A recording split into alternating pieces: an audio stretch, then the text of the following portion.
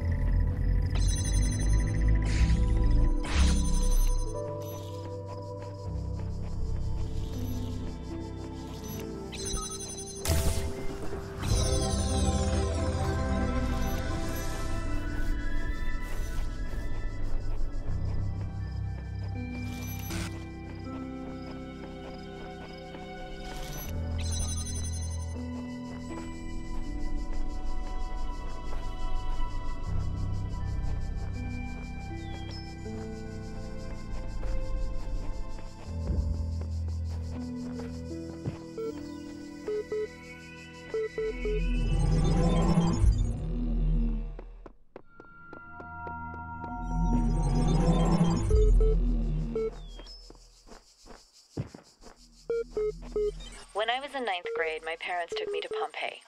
At first, I was amazed by the feeling of walking through an ancient city. But then I suddenly got scared.